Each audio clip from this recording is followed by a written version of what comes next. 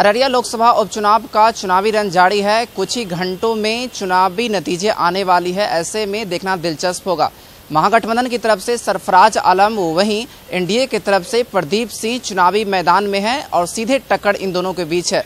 तमाम राजनीतिक पार्टियाँ के बीच गहमा गहमी बनी हुई है, लेकिन बयान देने में लोग अभी मुकर रहे हैं, लेकिन कुछ ही क्षणों में ये फैसला आने वाला है।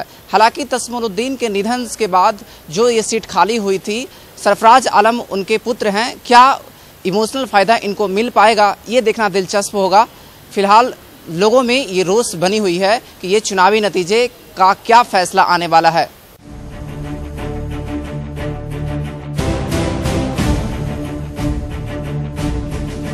देखिए, मैं आपको बता दूँ कि जहानाबाद के नतीजे बस कुछ ही क्षणों में आने वाले हैं। अगर बात करें वहाँ पे एनडीए और महागठबंधन उम्मीदवारों के बीच में, शुरू में लग रहा था कि कांटे की टक्कर होगी, लेकिन बिल्कुल उसके विपरीत यहाँ पे देखने को मिला। एक तरफ़ से अगर कहा जाए तो महागठबंधन के जो उम्मीदवार है, कृष्ण कुमार उर्फ़ सुदय यादव जी, वो शुरू से ही अपने प्रतिद्वंदी पे बढ़त बनाए हुए हैं। और ये बढ़त का जो बीच का जो ये अंतर है, वो काफ़ी बहुत बड़ा अंतर है। इतना बड़ा अंतर है कि उसको पीछा कर पाना जो है अभिराम शर्मा के लिए बड़ा मुश्किल होगा। बस कुछ ही क्षणों का इंतज़ार है लोगों को कि बस इसके नतीजे जैसे ही आएँगे, आप देखेंगे कि हाँ जीत का जश्न किसके सिर पे बनता है। फ़िलहाल अभी तक दोनों पार्टियों ने अपने अपने दफ्तरों में जो है वो रंग, गुलाल और अबीर की पूरी व्यवस्था कर रखी है। वीडियो जर्नलिस्ट सरवन कुमार के साथ मैं अजय झा जहानाबाद।